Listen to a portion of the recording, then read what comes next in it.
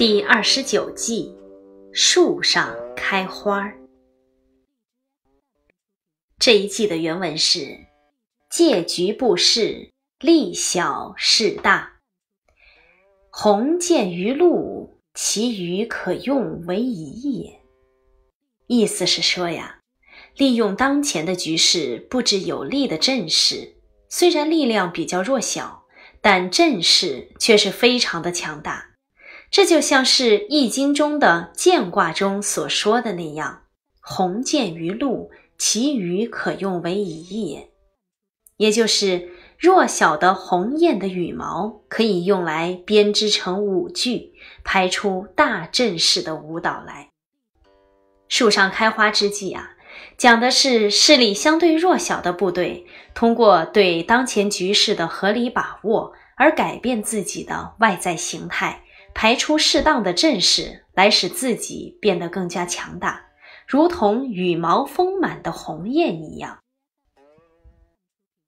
在古今的战争史上，有许多经典的战例就是运用了树上开花的计策。东汉末年，军阀混战，战乱频繁，当时的刘备呀，兵少将寡，势力非常弱小，多次被敌人打败。不得不前往荆州投奔刘表。后来刘表病死，荆州便由他的二儿子刘琮执掌。曹操趁着荆州人心不稳，亲率大军南下。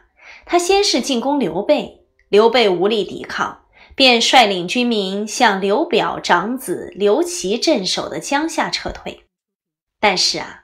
由于老百姓惧怕曹操大军到来后会烧杀抢掠，都想跟随刘备逃跑。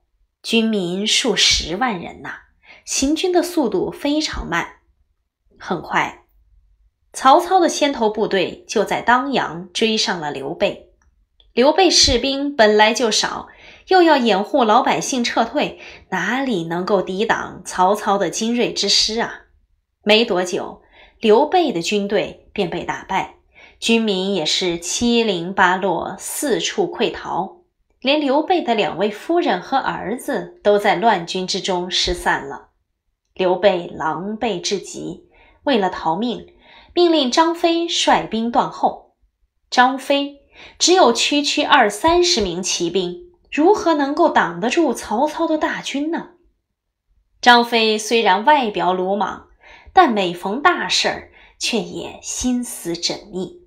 他不慌不忙，让手下的二三十名骑兵下马，到树林里去砍下树枝，然后将树枝绑在马身上，又命令士兵们骑着马在树林附近打转。马身上的树枝扬起了阵阵的沙尘。这时，张飞一个人骑着大黑马。手拿丈八长矛，威风凛凛地立在当阳桥头。曹操率领大军赶到，一见张飞单枪匹马据守桥头，觉得十分奇怪。他本打算下令过桥，这时只见张飞后面的树林里扬起了阵阵尘土，曹操便以为张飞设有伏兵。张飞见曹军没有动静，大吼了一声，喝道。身是张翼德也，可来公决死！这一声吼啊，恰如晴天霹雳一般，吓得曹军是魂飞魄散。曹操担心中了埋伏，便下令撤兵。就这样，张飞仅凭着二三十名骑兵，巧妙地运用了树上开花的计策，虚张声势，吓退了曹操，为刘备率领军民撤退。赢得了时间。在战国时期，燕昭王即位，记恨当初齐国攻打燕国，便想着报仇雪恨。他施行德政，礼贤下士。没过几年呢，燕国就强大起来。这个时候，齐国国君荒淫无道，不理朝政。燕昭王见机会来临，就封乐毅为大将，率领大军攻打齐国。乐毅不辱使命，带领声势浩大的燕军一举攻占了齐国的七十多座城池，只剩下了莒县和即墨没有攻下。这两座城池啊，十分坚固，易守难攻，所以乐毅不想损伤士兵的性命，硬攻，只是命令军队呢围困两城，使他们粮绝之后出城投降。即墨城中有一个叫田丹的人，很有谋略。当时即墨主将病死了，大家推举他为主将。没过多久。田丹得知燕昭王去世了，太子即位，这就是燕惠王。田丹知道燕惠王做太子时曾经污蔑乐毅，而遭到了昭王的惩罚，因此对乐毅是怀恨在心，便认为打败燕军的时刻来临了。他命人呐，悄悄到燕国去散布谣言，说乐毅想当燕王，只是昭王在世，不敢贸然行动。如今昭王去世，乐毅肯定没有顾忌了。他之所以不攻打即墨、莒县，就是想收买人心。要是燕国派别人来呀，早就把这两座城池攻克了。燕惠王听了谣言，信以为真，便派大将齐杰去替代乐毅。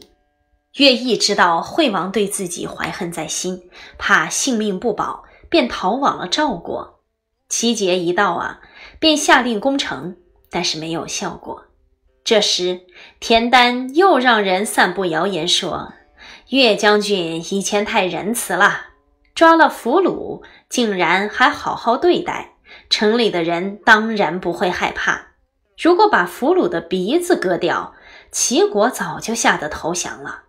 还有人说道：“我们的祖坟就在城外。”要是燕军把他们挖了，我们可怎么办呢？齐杰听了这些言论呢，当即下令将俘虏的鼻子割掉，然后挖了齐人的祖坟。城里人见了，个个是义愤填膺呐，纷纷向田丹请战。田丹见将士们同仇敌忾，便决定晚上进攻燕军。他让士兵找了一千多头牛，然后命人把他们打扮起来。上面盖着被子，画上大红大绿的花纹，牛角上绑着两把尖刀，尾巴上系着浸了油的芦苇。到了晚上，田丹把士兵们召集起来，准备攻打燕军。大家士气高涨，蓄势待发。田丹下令凿开十几处城墙，把一千多头牛牵出城外，然后下令点燃牛尾巴上的芦苇。牛受不了疼痛，发狂般的向燕军阵地冲了过来。齐国士兵紧随其后，一时间呐喊声、锣鼓声一同响起，把燕军士兵从睡梦中惊醒。他们一看，哎呀，火光冲天，成百上千长着尖角的怪兽冲了过来，吓得腿都软了，哪里还顾得上抵抗啊？燕军士兵被牛顶死、踩死，被齐军杀死的那就是不计其数啊！齐杰想要杀出一条血路，结果也死在了乱军之中。就这样，田丹带领齐军大胜燕军。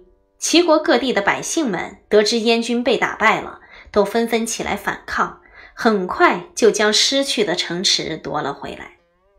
田丹之所以能够打败燕军、收复失地，很大程度上就是运用了树上开花的计策，利用火牛壮大声势，使敌人心生畏惧，然后一举消灭了燕军。